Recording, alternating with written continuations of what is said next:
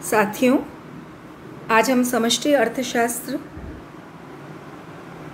के एक बहुत महत्वपूर्ण पहलू पर चर्चा करने जा रहे हैं। मैं doctor Seema Soral, associate professor economics, head of the department, government arts college Kota. राष्ट्रीय आय की गणना में हम जो भी समस्याएँ होती हैं, उन्हें मूल रूप से धारणा मूलक और सांख्यिकी कठिनाइयों के अंतर्गत बांटकर और उसके बारे में चर्चा करेंगे। तो अगर हम सबसे पहले धारणा मूलक कठिनाइयाँ जो राष्ट्रीय आय की गणना में आती हैं, उसकी चर्चा करें तो उसमें सबसे पहले आते हैं उपेक्षित बाज़ार सौदे। अर्थव्यवस्था में कई लेन देन की क्रियाएँ बाज़ार के माध्यम से तो संपादित होती हैं पर ये लेन देन की क्रियाएँ आर्थिक क्रियाओं से संबद्ध न होने के कारण राष्ट्रीय आय में शामिल नहीं की जाती। उपेक्षित बाज़ार सौदे तीन प्रकार के होते हैं, हस्तांतरण भुगतान, पूंजीगत लाभ और अवैध क्रियाओं से प्राप्त लाभ या आय। हस्तांतरण भुगतान का अभिप्राय उन मौद्रिक भुगतानों से है जो प्राप्तकर्ताओं की चालू उत्पादक क्रियाओं से अर्जित नहीं होते, वरन राहत पहुँचाने या आय वितरण को प्रभावित करने अथवा पूर्व उत्पादित वस्तुओं या आमदनी का हस्तांतरण मात्र होते हैं, जैसे पेंशन भुगतान, राहत भुगतान, स्कॉलरशिप, पुरस्कार आदि। यह राष्ट्रीय आय में शामिल नहीं किया जाता। दूसरा है पूंजीगत लाभ हानि। पूंजीगत संपत्तियों के बाज़ार मूल्य में होने वाले घटत बढ़त से परिसंपत्तियों के स्वामियों को लाभ हानि होती रहती है, जैसे शहरीकरण के कारण मूल्य वृद्धि में भूखंडों को बेचने से भारी लाभ होता है।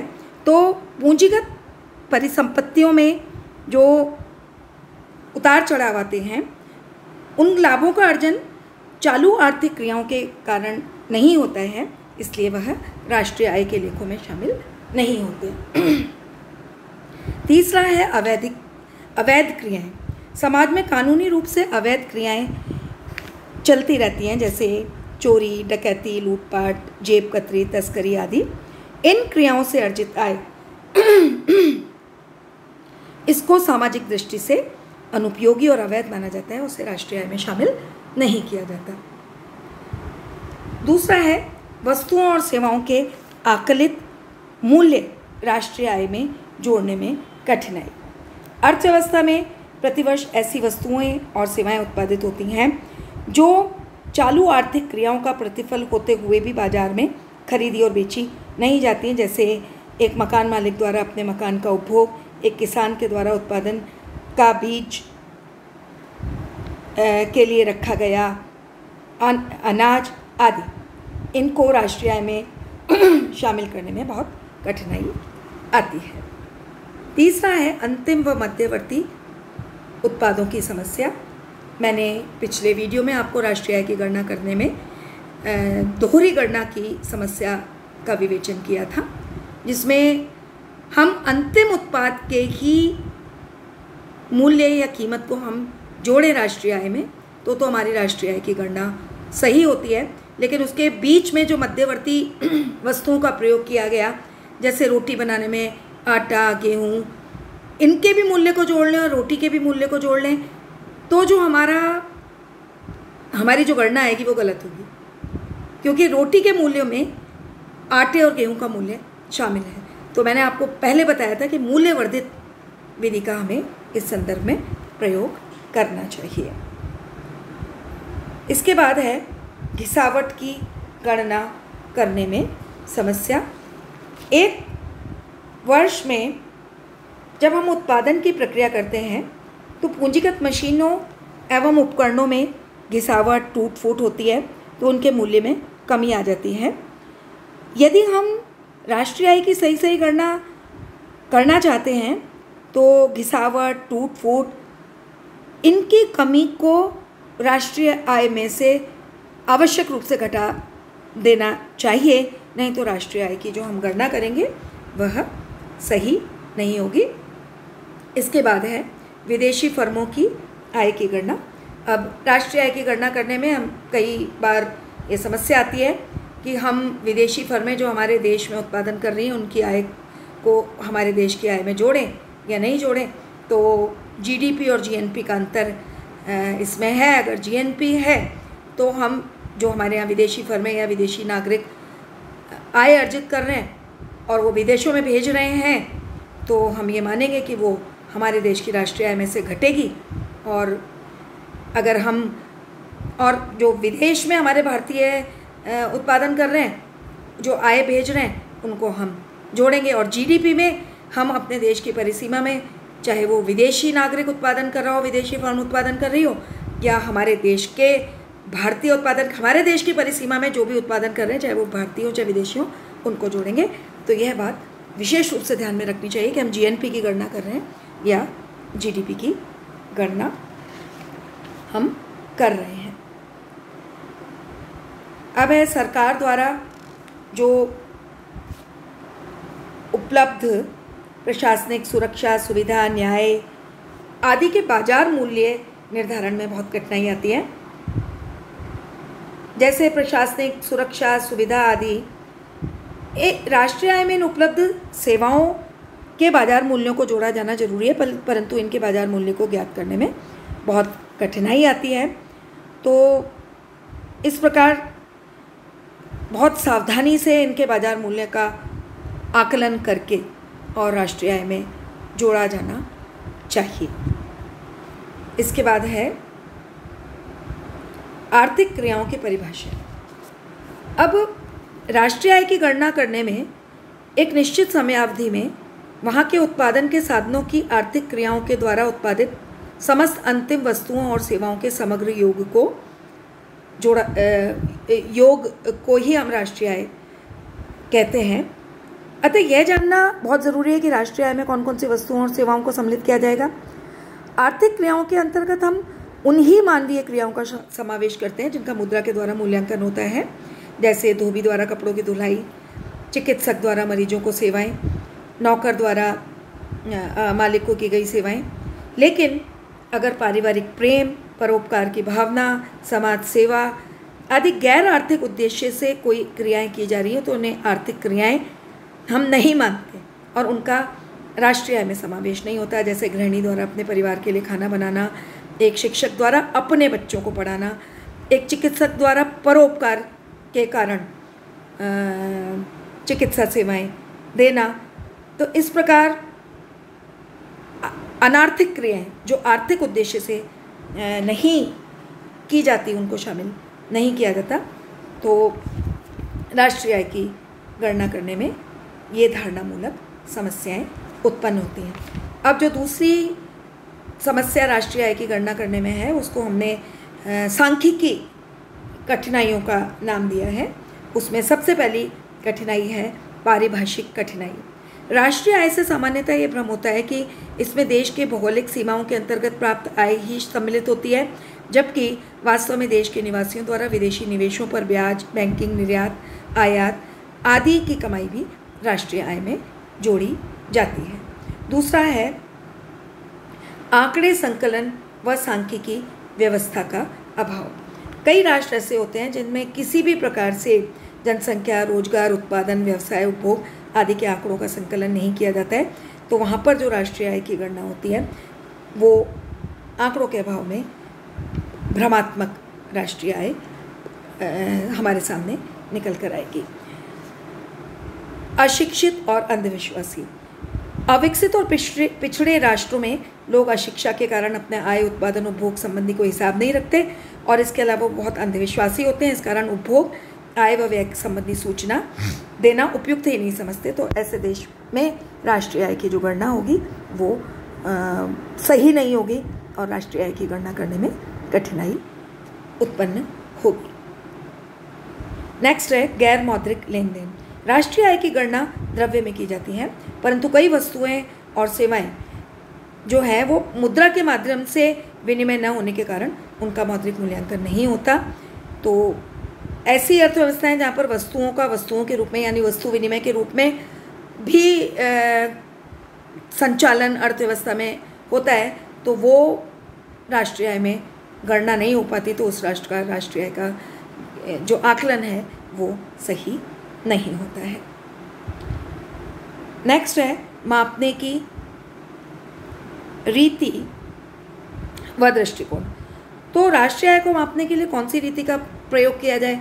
जैसे मैंने आपको पहले बताया था कि उत्पादन विधि, आय विधि और व्यय विधि। किस रीति का उपयोग किया जाए, इसका भी निर्धारण। हालाँकि इन सबसे जो हमारी राष्ट्रीय आय का आकलन आता है, वो समान आता है। लेकिन फिर भी अगर हमारा उद्देश्य जैसे जनता के कल्याण का अध्ययन करना है तो व्यय दृष्टिकोण अपना लिया जाए तो बेहतर होगा।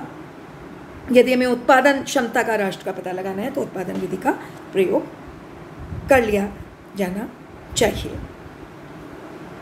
नेक्स्ट है, मूल्य स्तर में परिवर्तन। राष्ट्रीय आय संबंधी आंकड़ों की तुलना करने में मूल्य स्तर में हुए परिवर्तनों का भी समय, समायोजन करना पड़ता है। तो जैसे अगर इन्फ्लेशन है, मुद्रास्फीति है तो हमें राष्ट्रीय आय बहुत ज़्यादा बढ़ी हुई दिखेगी। जबकि हो सकता है कि राष्ट्रीय आय बढ़ने की बजाय घट गई हो। तो हम दो तरीक़ों से राष्ट्रीय आय की गणना कर लेते हैं। एक तो करंट प्राइस पर प्रचलित मूल्यों पर राष्ट्रीय आय की गणना और एक स्थिर मूल्यों पर राष्ट्रीय आय की गणना। स्थिर मूल्यों पर राष्ट्रीय आय की गणना में हम कोई एक ऐसा ऐसा ईयर ऐसा वर्ष, आधार वर्ष के रूप में ले लेते हैं, जो सामान्य वर्ष रहा हो, जिसमें कोई उतार चढ़ाव, युद्ध, अकाल, बाढ़ जैसी असामान्य घटनाएँ नहीं हुई हों। तो हम अगर हम प्रचलित मूल्यों की बजाय हम किसी आधार वर्ष के आधार पर, स्थिर मूल्यों के आधार पर राष्ट्रीय आय की गणना करें तो वह हमें ज़्यादा सही परिणाम देगा। नेक्स्ट है, सरकारी व्यय और करारोपण। सरकार के प्रशासनिक व्यय और व्यवहार में भिन्नता एवं सामान्य क्रियाओं में व्यवहार भी भिन्न भिन्न होते हैं। अतः उनके उत्पादन एवं उपभोग व्यय के प्रभावों का विश्लेषण बहुत मुश्किल होता है। इसी प्रकार करारोपण के डर से उत्पादन और आय को कम बताने की प्रवृत्ति पाई जाती है। इससे भी राष्ट्रीय आय जो है, वो हमें गणना करने में कठिनाई होती है और सही आकलन हम नहीं कर पाते। अर्थव्यवस्था में गैर मौद्रिक क्षेत्र की प्रधानता होती है। विशेष रूप से अविकसित और पिछड़ी अर्थव्यवस्थाओं में बहुत बड़ा भाग नॉन मोनिटाइज सेक्टर या गैर मौद्रिक क्षेत्र होता है जिसमें कितना लेन देन हुआ उसका कोई मौद्रिक मूल्य का आकलन नहीं होता तो राष्ट्रीय आय की गणना में से वह छूट जाता है और, और इस प्रकार से राष्ट्रीय आय की गणना का आकलन सही नहीं हो पाता है तो इस प्रकार राष्ट्रीय आय की गणना में कई प्रकार की कठिनाई आते हैं, लेकिन राष्ट्रीय आय के अध्ययन का महत्व निरंतर बढ़ता जा रहा है और प्रोफेसर कीन्स ने राष्ट्रीय आय को समष्टिवादी अर्थशास्त्र का अविभाज्य एवं महत्वपूर्ण अंग माना है और इस कारण से राष्ट्रीय आय का अध्ययन अर्थशास्त्र में बेहद महत्वपूर्ण है। कई बार आप लोगों से विशेष रूप से ये पूछ लिया जाता है कि जो अविकसित राष्ट्र हैं वहाँ पर राष्ट्रीय आय की गणना करने में क्या कठिनाई आती है? राष्ट्रीय आय की गणना में काफ़ी आंकड़ों की ज़रूरत होती है, जिनका अल्प विकसित देशों में प्राय अभाव पाया जाता है। इसलिए इनके देश की जो राष्ट्रीय आय के अनुमान और आकलन होते हैं वह बहुत अधिक विश्वसनीय नहीं होते हैं। तो इसमें सबसे पहला जो कठिनाई आती है, वो है आर्थिक क्रिया में विशिष्टीकरण का अभाव। पिछड़े देशों में बहुत से व्यक्तियों का व्यवसाय सुनिश्चित नहीं होता और उन्हें अपनी आय बढ़ाने के लिए कई तरह के काम करने पड़ते हैं। इस कारण से राष्ट्रीय आय का हिसाब लगाना बहुत मुश्किल होता है। दूसरा है गैर मुद्रीकृत क्षेत्र का पाया जाना। पिछड़े हुए देशों की अर्थव्यवस्था में गैर मुद्रिकृत क्षेत्र पाया जाता है। उत्पादक उत्पादन का एक भाग स्वयं के उपभोग के लिए रख लेते हैं तथा अन्य लोगों से वस्तु विनिमय कर लेते हैं, जिनका कोई हिसाब किताब मौद्रिक मूल्यों का नहीं रखा जाता। है इस प्रकार राष्ट्रीय आय के सही अनुमान लगाने में कठिनाई होती है। जैसे जीवन निर्वाह खेती, जो कि पिछड़े हुए राष्ट्रों की विशेषता है, वहाँ पर अधिकांश अनाज स्वयं के लिए, स्वयं के उपभोग के लिए रख लिया जाता है। तो ऐसे राष्ट्रों में कैसे राष्ट्रीय आय की सही गणना किया की जाए, यह एक बहुत महत्वपूर्ण कठिनाई होती है। तीसरा है, आय व्यय का हिसाब नहीं रखा जाना। ज़्यादातर अविकसित देशों में अनपढ़ होते हैं लोग। कृषि अर्थव्यवस्था प्रमुख होती है। कृषक ज़्यादातर अशिक्षित होते हैं हिसाब किताब नहीं रख पाते, खेती की उपज मात्रा, मूल्य का अनुमान नहीं लगा पाते। तो इस प्रकार से ऐसे राष्ट्रों में बहुत समस्या आती है कि किस प्रकार से राष्ट्रीय आय की सही सही गणना की जाए। और एक और बहुत जो महत्वपूर्ण बिंदु है जिसके बारे में आपको चर्चा करना चाहूँगी कि अल्पविकसित देशों में उत्पादन क्षेत्र में बहुत छोटी छोटी इकाइयों की भरमार होती है। जिनकी आय का अनुमान लगाना बिल्कुल भी सुगम नहीं होता। है जैसे अनेक लघु कुटीर उद्योग पाए जाते हैं, असंगठित क्षेत्र पाया जाता है जो ठीक से हिसाब भी नहीं रखते। तो इस प्रकार से आर्थिक इनका आकलन करना राष्ट्रीय आय का बहुत मुश्किल होता है। इसी कारण से अल्प विकसित देशों में राष्ट्रीय आय के आंकड़े कम विश्वसनीय होते हैं। प्रोफेसर अशोक रुद्र ने भारत में राष्ट्रीय आय के आंकड़ों की कमियों को देखकर एक बार कहा था कि क्यों ना इनको बंद कर दिया जाए और उन्होंने सुझाव दिया था कि राष्ट्रीय आय का अनुमान प्रतिवर्ष न लगाकर प्रति पाँच वर्ष में एक बार लगाया जाना चाहिए ताकि वह आंकड़े अधिक विश्वसनीय हों। अब यह तो चर्चा हुई कि किन किन कठिनाइयों का सामना हमें करना पड़ता है। अविकसित राष्ट्रों के संदर्भ में मैंने मुख्य बिंदु बताए, जो कि राष्ट्रीय आय की गणना करने में आते हैं। तो अंतिम जो बिंदु मैं आज इस वीडियो में चर्चा करने जा रही हूँ, वो ये है कि राष्ट्रीय आय के अनुमान में और उपयोग में क्या क्या सावधानियाँ बरतनी चाहिए ताकि राष्ट्रीय आय की गणना सही सही हम कर पाएँ। तो राष्ट्रीय आय की गणना में भिन्नता, एकत्रित आंकड़ों में समान आधार का अभाव तथा परिस्थितियों की भिन्नता के कारण राष्ट्रीय आय के आधार पर निकाले गए निष्कर्ष कई बार गलत और भ्रमात्मक हो जाते हैं। अतः तुलना करने में, राष्ट्रीय आय के विश्लेषण से आर्थिक निर्णय लेने में, दो राष्ट्रों की तुलना करने में पूर्ण सतर्कता बरतना आवश्यक है। तो सबसे पहला बिंदु जो हमें ध्यान रखना चाहिए राष्ट्रीय आय की गणना करने में, वह है गैर मुद्रिकत वह है मौद्रिक आय और वास्तविक आय में अंतर करना। देश में मूल्य स्तर में परिवर्तन होते रहते हैं, मौद्रिक आय में घटत बढ़त होती है और उसका वास्तविक आय पर भी प्रभाव पड़ता है। मुद्रा स्फीति के समय हमारी मौद्रिक आय बढ़ जाती है परंतु मूल्यों में वृद्धि होने के कारण वास्तविक आय घट जाती है। तो राष्ट्रीय आय की गणना करते समय हमें मौद्रिक आय को नहीं, बल्कि वास्तविक आय को ध्यान में रखना चाहिए। दूसरा है, कुल आय के स्थान पर प्रति व्यक्ति आय। किसी भी देश की राष्ट्रीय आय की तुलना करना ज़्यादा भ्रमात्मक है, क्योंकि एक देश की जनसंख्या कम हो सकती है एक बड़ा हो सकता है, कोई राष्ट्र छोटा छोटा हो सकता है, कोई राष्ट्र छोटा छोटा है और उसकी राष्ट्रीय आय कम है, लेकिन किसी राष्ट्र की राष्ट्रीय आय बहुत अधिक है, लेकिन वहाँ की जनसंख्या बहुत अधिक है। तो हो सकता है कि जिस राष्ट्र की जनसंख्या कम है और जो छोटा है, वहाँ की राष्ट्रीय आय भी कम है, लेकिन वो बेहतर हो। तो हमें प्रति व्यक्ति आय, प्रति व्यक्ति आय का फॉर्मूला होता है कि कुल आय में से जनसंख्या का भाग दे दें। तो एक व्यक्ति की औसत आय उस राष्ट्र में कितनी है, ये हमें ज्ञान प्राप्त हो जाता है। और प्रति व्यक्ति आय के आधार पर दो राष्ट्रों के अगर हम विकास या तुलना हम करें विकास का अध्ययन करें, तुलना करें, कि कौन सा राष्ट्र बेहतर है तो वह हमारा ज़्यादा बेहतर तुलना हम कर पाएँगे राष्ट्रीय आय की तुलना में, प्रति व्यक्ति आय को आधार बनाया जाना चाहिए। तीसरा है, आय के वितरण की व्यवस्था। राष्ट्रीय आय की कुल मात्रा या प्रति व्यक्ति आय की अधिकता ही अधिकतम कल्याण का द्योतक नहीं है। एक देश की कुल राष्ट्रीय आय अधिक हो और प्रति व्यक्ति आय भी अधिक हो। परंतु धन का अत्यधिक असमान वितरण हो तो यह नहीं कहा, कहा जा सकता कि वो देश का जीवन स्तर ऊँचा है। केवल कुछ ही वर्गों द्वारा राष्ट्रीय आय पर आधिपत्य प्राप्त कर लेना सामाजिक और आर्थिक दृष्टि के साथ साथ राजनीतिक दृष्टि से भी यह खतरनाक और अनुपयुक्त है।